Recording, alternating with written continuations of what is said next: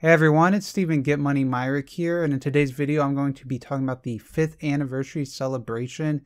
It's an event that DH Games is putting together in order to honor and celebrate their fifth anniversary. Specifically, they're asking for video submissions from some people, and in, and if you make those video submissions, then you'll get some in-game rewards for it. So in this video, I'm going to be going over the rules for doing that in case you want those rewards, uh, when you have to submit the videos by. But I'll also be showing off my submission and what I sent to them. And at the end of that submission, I did put together a little highlight package of some of my favorite moments from the last few months. So definitely make sure and check out that highlight package and all that good stuff. Before I go any further, I did want to say that if you're not subscribed to my channel, please consider subscribing. I'd really, really appreciate it. it helps me grow, helps me get big, helps me keep making videos. So please, please hit that subscribe button. I'm putting up the rules for the submission here. You can also find them on the Idle Heroes Facebook page. The big thing is that there's a very short window for submitting these videos, and by the time this video comes out, you only have a few days if you're interested in doing this. Uh, but there's rules about what you can do, what they want you to talk about. You can see it's 30 seconds to 5 minutes. And then along with those rules, there will also be some prizes within the game to give you reasons for why you might want to do this. These are the rewards if you participate in this video contest. I assume what this is telling me is that if you submit something, you'll get 3,000 gems, but then if they decide to use your video, uh, they'll give you some more prizes. So if you are doing this and you're interested in those more prizes, maybe try and make your question kind of interesting or do something interesting. Uh, they also mentioned like they have the rights to this video to use and edit it however they want. So I would just be careful about what you use in that video. Make sure you're comfortable with that footage being used. Uh, but yeah, I went ahead and I made a video. I figured I might as well. So that video is coming up. And like I said, there's a highlight package after that. So let's go ahead and see what I had to say to DH Games for their fifth anniversary. Hello, DH Games and all my fellow idlers. Congratulations on your fifth year anniversary, and especially to anybody that's been involved with the game or within the community for the last five years. I've been part of the community for about three years, I would say, and uh, you know, just great memories of being on the subreddit since the beginning with MKX Jump and Hey y'all, it's your boy Zeals. But uh, I just remember trying to get my first 10 star, trying to get my first E3, get my first E5. I remember when they added upgraded, you know, artifacts, and this game has really, really grown. But where I really found my home with this game was within my guild. Uh, specifically, I had played the game for maybe a year or so and had gotten up to my first full team of 65s, and I felt like it was time for me to recruit myself into the best guild on server 23, Revenge.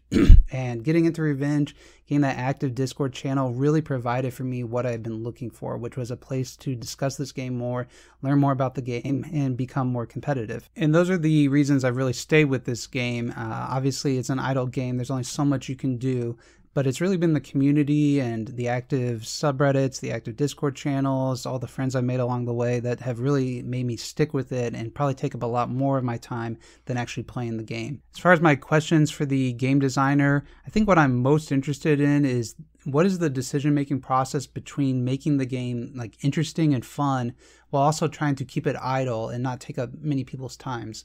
Like when I started playing this game, it only took a few minutes a day, and now as more and more modes have gotten added, there's more and more requirements. And there have been some Smash functions added in order to reduce those requirements, but uh, there's definitely days where it starts to feel like a chore, you know, where I'm working really hard. And so, how as a game designer do you try to balance the idle nature of this game while also trying to keep it fresh and interesting? Uh, specifically, you know, Void Ark was a very great content, but if you smash, it's not as good. Realms Gate was fun when it came out, but you know, smashing hurts you because you can't explore, explore the caves. The treasure ship was a good mode, but again, you have to push the button 10 times. And so it went from, you know, me taking a few minutes each day to now I can feel like I'm playing 25, 30 minutes a day.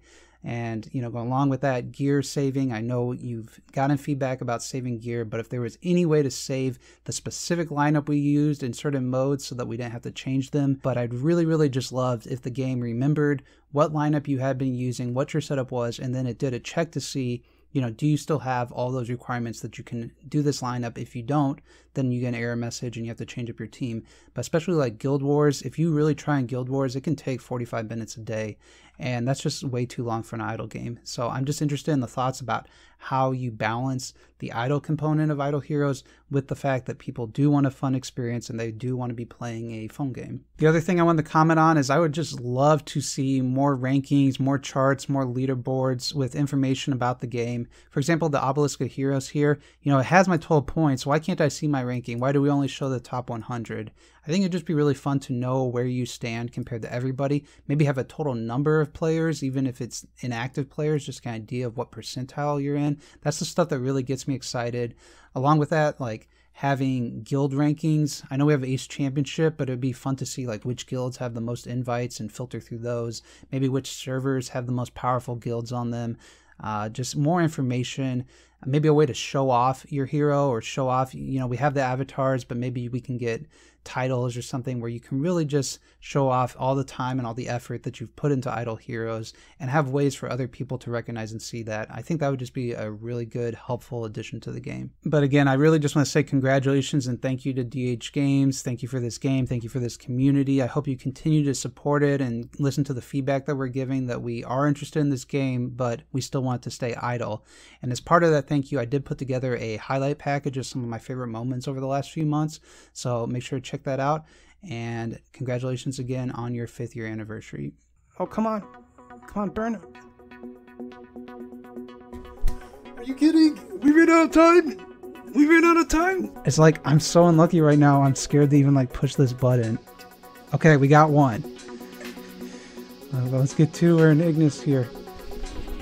Ah, the gums on this boy are just going to be making memes for a very long time. Uh, he is not, he's a very unfortunate looking uh, individual. But, uh, you know, at least my bag isn't too crazy.